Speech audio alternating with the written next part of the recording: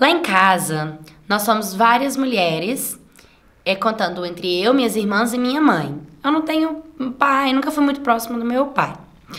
E eu sempre fui a caçula, né? Minhas irmãs todas são mais velhas, então elas são casadas, algumas têm filhos. E eu sempre fui a xodozinha, né, de todas elas, assim, a amorzinho de todas elas, as que cuida da sobrinha, sabe? Que todas as irmãs quer levar para casa, para olhar, para cuidar, essas coisas.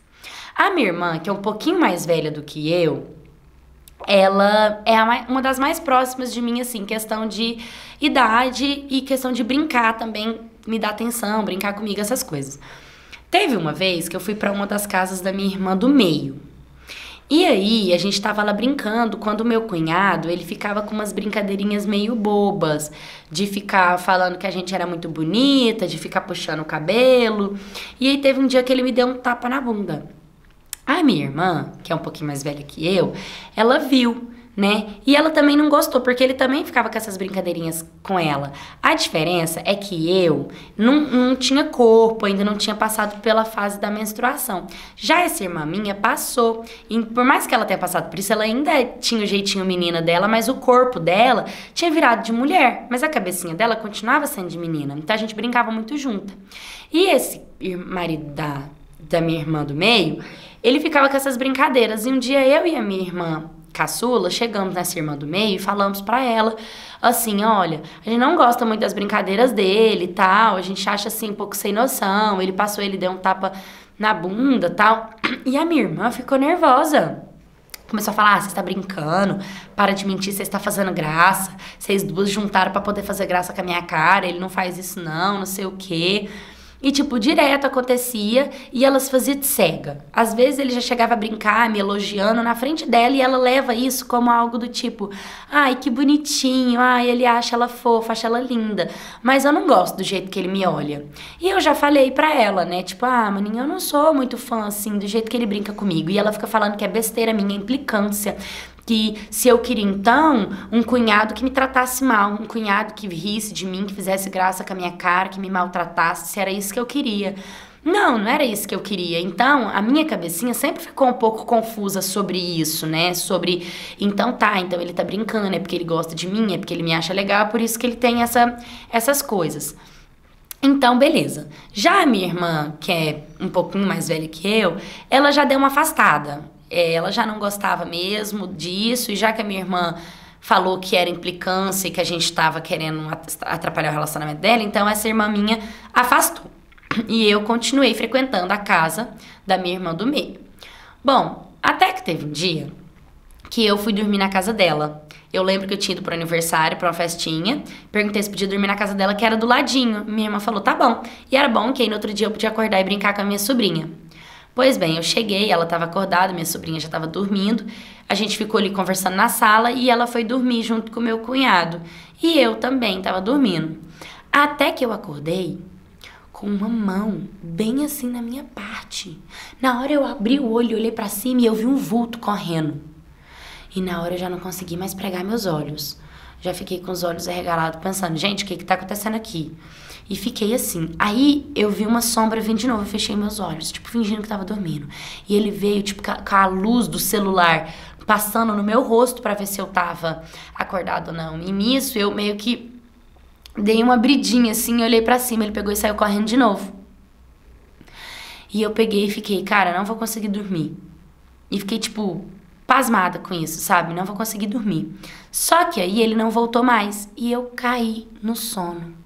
Menina, quando eu acordei, eu acordei com esse homem com a mão dentro da minha roupa. Na hora que eu acordei, ele tava literalmente com a mão dentro da minha roupa, sabe? Passando os dedos dele em mim. Na hora eu eu já soltei um grito assim, ele saiu correndo, eu já comecei a chorar, já peguei meu celular e liguei para minha irmã mais velha, a mais velha de todas, sabe? Liguei chorando, pedindo para ela vir me buscar na casa da nossa irmã do meio. E ela, mas o que é que tá acontecendo? E eu falei, vem, só me busca, eu não quero ficar aqui, eu tô com medo, vem, vem, vem. E minha irmã tava na casa de uma amiga dela numa social, ela veio correndo, me buscou e me levou para casa da nossa mãe.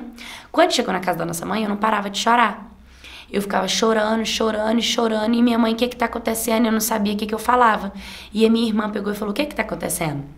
Eu peguei e contei pra minha irmã detalhadamente. Olha, eu já tem dias, ele me olha assim, ele me olha assado, eu não gosto disso, eu não gosto daquilo. Pode perguntar para outra irmã que também passou por isso, que foi contar pra ela, tal, não sei o quê. Aí minha irmã mais velha virou e falou assim: você tem que contar isso pra mãe. Falei, não, minha mãe não vai acreditar em mim e vai criar atrito. Não, a gente vai contar. E aí ela chamou minha mãe, fez eu contar tudo pra minha mãe detalhadamente do que eu passei. Na hora, minha, minha, minha mãe ficou pasma passado e falou: a gente vai conversar com a sua irmã. Falei, mãe, eu já tentei, ela não acredita, ela fala que é implicância, que não sei o quê, ela vai ficar com raiva de mim, eu nunca mais vou poder brincar com a minha sobrinha. Olha a minha preocupação. Eu ser proibida de brincar com a minha sobrinha. E aí ela pegou e falou assim: não, mas a gente vai falar. E nisso, no outro dia, a minha própria irmã, casada com esse homem, começou a ligar perguntando por que, que eu tinha ido embora, o que, que tinha acontecido, por que, que eu tava chorando, que ela viu eu ligando, por que, que foi buscar, o que, que aconteceu. Ela ficou preocupada. Minha mãe falou: Olha, eu acho melhor você vir aqui pra gente conversar pessoalmente. E lá veio a minha irmã.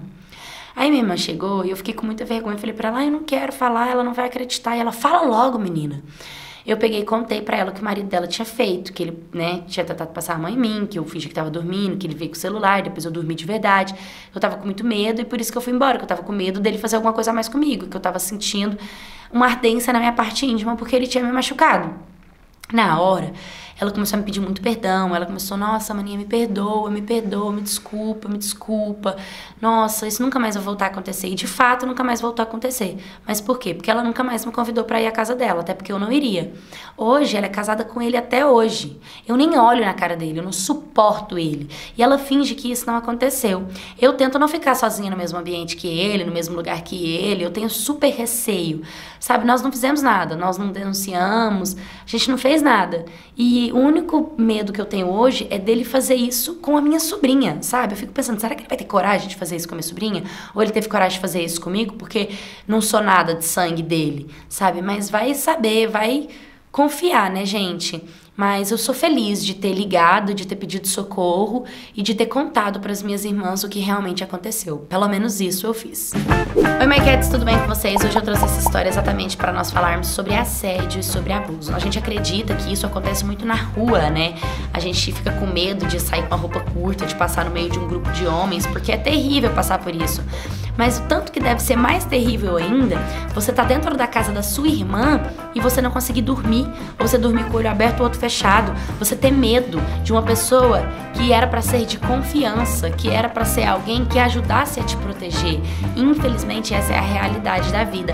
A maioria das histórias que eu recebo aqui, o agressor, ele faz parte da vida da vítima, né? Então é um tio, é um pai, é um primo, é um vô, é um sobrinho. Então por isso que a gente tem que abrir os nossos olhos para essas pessoas. Por mais que aquela pessoa é maravilhosa, mas aquela pessoa é casada, aquela pessoa é pai da, da minha sobrinha que eu tanto amo, da minha neta, pode ser que com a neta, com a filha, com a irmã, ele é uma pessoa, mas com a outra, com a vizinha, com a outra irmãzinha caçula, ele tenha uma, um interesse diferente. Por isso que é tão importante a gente ter um relacionamento aberto com os nossos filhos, falar sobre educação sexual, falar sobre esse assunto, para a gente ter liberdade que se um dia isso aconteça, nosso filho ou filha venha e conte pra gente, converse com a gente, pra gente poder tomar as melhores medidas dentro desse caso.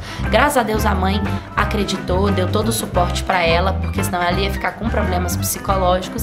E que triste, né, que assim, essa irmã não conseguiu sair desse relacionamento, né? E vive automaticamente num relacionamento conturbado fa familiar, né? Por conta desses processos que ela passou. Mas a gente deseja que isso acabe, que o mundo abra a mente e que isso não aconteça. Por isso que ser mãe de um menino é um grande desafio, porque a gente tem que ensinar um menino sempre respeitar uma mulher. Não interessa a idade, não interessa é, o lugar, a hora. Respeito é respeito, não é não. E gente, um homem invadir a privacidade de uma criança se chama pedofilia. Isso aí é crime duplo, tá? Além de estar tá sendo o crime de assédio, ainda tem o crime de pedofilia. Então, a gente não pode esquecer sobre isso. Se você já passou por isso, me manda sua história para contar aqui no canal. Curta, comenta, compartilha, se inscreva no canal. Um beijo e até o próximo vídeo.